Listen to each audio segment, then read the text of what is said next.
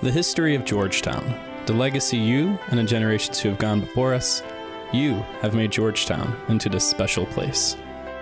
Alumni, parents, students, and friends of the university, like you, have come together to form this place.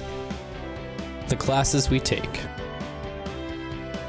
the professors who guide us, the experiences that form us, the friends that make Georgetown into a home. Over the past decade, you have transformed Georgetown into a new place for new friends, new conversations, new experiences, and you have made this place ready for generations to come. At Georgetown, we are heirs to an extraordinary tradition of learning. Now it is up to us to secure Georgetown's place in the first rank of the world's universities so that generations who come after us will know that we acted in the true spirit of Georgetown. Thank you for taking your place in Georgetown's history.